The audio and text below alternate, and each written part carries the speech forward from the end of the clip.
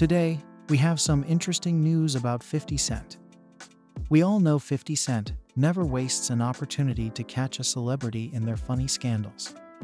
This time, Meek Mill is catching the heat. Let's get into the specifics. 50 Cent won't give up the chance to slam Meek Mill on the claims made in the Diddy case.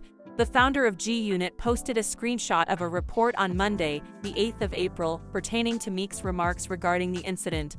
The headline said, Meek Mill says the rumors about him and Diddy is confusing his 12-year-old son, people saying his dad is gay.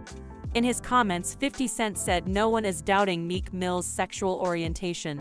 50 Cent claims that some individuals think Meek is on records that are purportedly incriminating and were captured in secret at Diddy's wild parties. 50 Cent said, God damn it. People don't think you are gay Meek Mill, they think you on them tapes. Old boy was filming every room, even the toilets. Prior to the claims in Lil Rod's lawsuit against Diddy for alleged sexual assault, Meek took to social media earlier on Monday to express his outrage at the flood of homosexual jokes and rumors and their impact on his son. According to the rapper, Diddy had male sexual partners, including Meek Mill.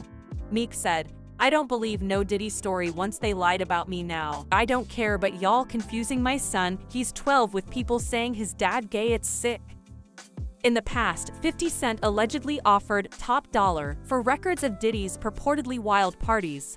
He intends to use the recordings in a documentary exposing the claims of sexual assault against the head of Bad Boy Records. Tell us in the comments what you think about what 50 Cent told Meek Mill about his Diddy scandal. Don't forget to like the video and subscribe to the channel for more updates on what's happening with your favorite stars.